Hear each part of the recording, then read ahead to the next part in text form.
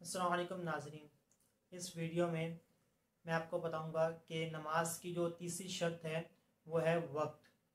तो वक्त पर नमाज़ पढ़ना ये ज़रूरी है।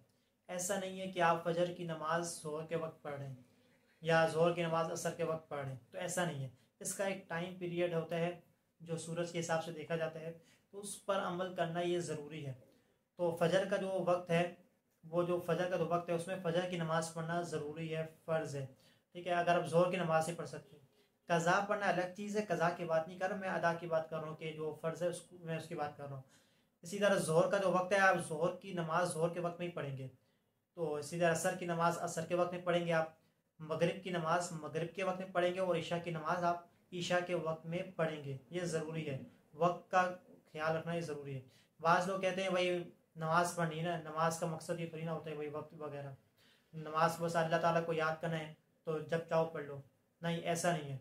नमाज़ आप ज़रूर पढ़ें, ठीक है? लेकिन ये कि नफिल आप, नमाज़ आप जब चाहें पढ़ें तीन वक्त के अलावा यानी कि फजर के बाद जो बीस मिनट होते हैं उसके अलावा, और जब सूरज से पहले जो सूरज जो हमारे सर पे होते हैं ऊपर तो उस वक्त और जब सूरज ग्रूप होता है बीस मिनट, उसके अलावा आप नवाफिल पढ़ें, कोई मसला नहीं है।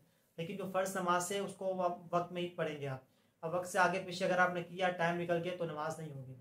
हाँ इसमें यह है कि ज़ोर की नमाज़ पढ़े आप, एक मिनट रहते हैं। अब आपने चार फ़र्ज़ पढ़े, आप किस तरह पढ़ेंगे? एक मिनट में। तो आप ये है कि आप नमाज़ शुरू कर दें। अब असर का वक्त स्टार्ट हो गया ना तो जो चार फ़र्ज़ है ना तो वो आपकी ज़ोर में काउंट होगी तो वो चार फ़र्ज़ हो जाएँगे।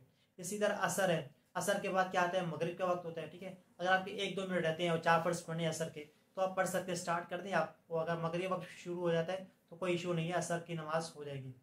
जजाक खैर